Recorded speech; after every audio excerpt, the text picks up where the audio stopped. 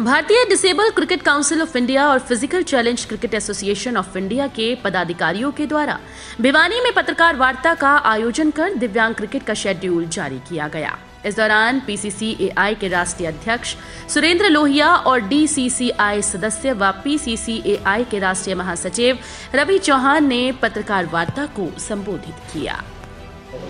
जैसा कि आपको मालूम है कि दिव्यांग क्रिकेट का लेदर की बॉल से 11 साल पहले जन्म हुआ था। उससे पहले टेनिस की बॉल से खेला जाता था, लेकिन 11 साल पहले जो शुरुआत लेदर की बॉल से हुई है, वो अब हिंदुस्तान में ही नहीं, पूरे विश्व में भी भारत का नाम उज्जवल हो गया है, क्योंकि 2019 में वर्ल्ड कप भी जीत के आई थी हमारी टीम, और अब आने वाले टाइम में जैसे मेयर कप है ग्वालियर में, उदयपुर में 24 राज्य का बड़ा टूर्नामेंट है। उसके बाद ऐप कप है, जो कि हैदराबाद के शहर में खेला जाएगा। मेरी आनंद चुक्का जी से बात हुई थी, जो कि फाउंडर है ऐप कप के ऑस्ट्रेलिया रहते हैं। उन्होंने कहा कि पिछले साल से भी अच्छा आपकी बार हम ऑर्गेनाइज करेंगे।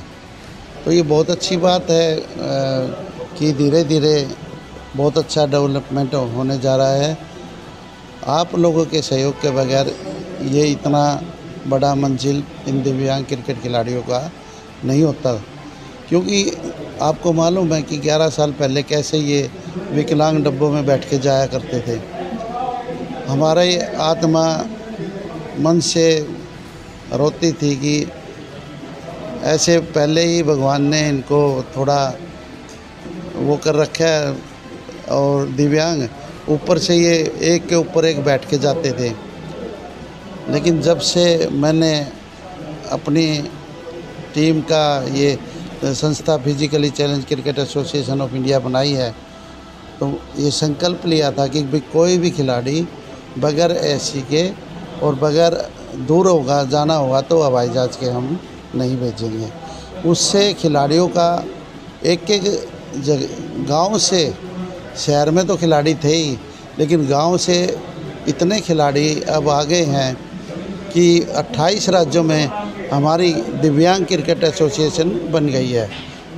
सुरेंद्र जी बात आपको मालूम है कि देखिए कि हमने कोविड के समय भी आनंद चुक्का जी ने पैसे भेजे थे हमने सभी खिलाड़ियों को उस समय हेल्प की थी।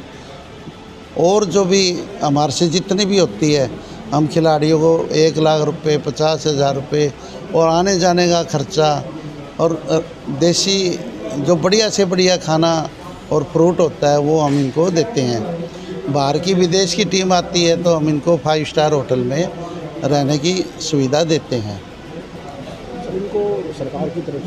देखिए, मैं आपको बताऊँ, मुझे बड़ी खुशी हो रही है कि हरियाणा में एक ही बार में हमारे 28 दिव्यांग खिलाड़ी डी प्लान में लगे थे। वो भी हमने इनके फार्म वगैरह भर के दिए थे। तो वो भी एक अच्छी सुविधा है। आज वे पैंतीस पैंतीस, चालीस चालीस हज़ार रुपये की सर्विस करते हैं और क्रिकेट भी खेलते हैं। उनको छुट्टियाँ भी मिलती है। और दो तीन तो अधिकारी बहुत बड़े पीडब्ल्यूडी में लग गए हैं।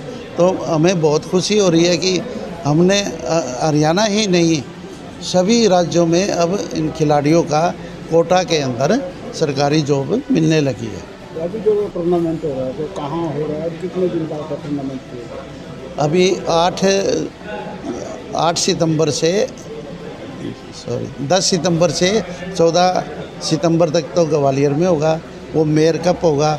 उसके बाद बहुत बड़ा टूर्नामेंट जो कि 24 राज्य का होगा 24 राज्य के खिलाड़ी आएँगे वो उदयपुर में होगा जो कि नारायण संस्था और बीसीसीआई के सहयोग से होगा। उनको स्पॉन्सरशिप मिल पाई स्पॉन्सर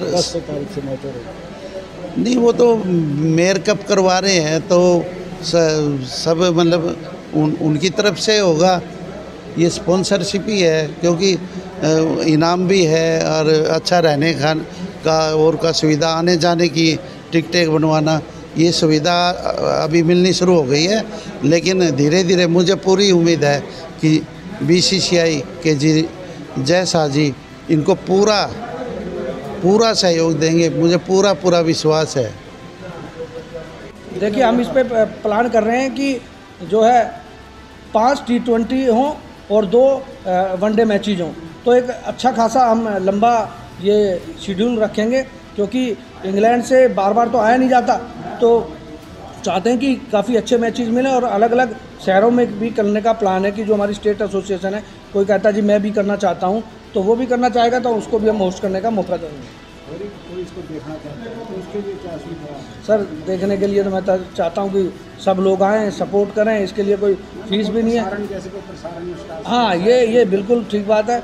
इसका हम प्रसारण जो है, जैसे फ़ैन कोड है, जियो जियो से भी बात चल रही है। अभी आपने देखे होंगे कि पीछे, पिछले दो दिन में ही बीसीसीआई के जो मीडिया राइट्स हैं, वो जियो को चले गए हैं स्पोर्ट्स एटीन को चले गए हैं। तो अगले पाँच साल के लिए उनको ये जो राइट्स गए हैं तो हम चाहते हैं कि जियो सिनेमा पे, सिनेमा डिजिटल पे आए और स्पोर्ट्स एटीन जो बीसीसीआई ने अभी जो राइट्स दिए हैं, उन पर हमारे मैचेज आए। नहीं तो फ़ैन कोड है, दूरदर्शन है इनसे तो इन पर तो हमारे लगातार आते रहते हैं।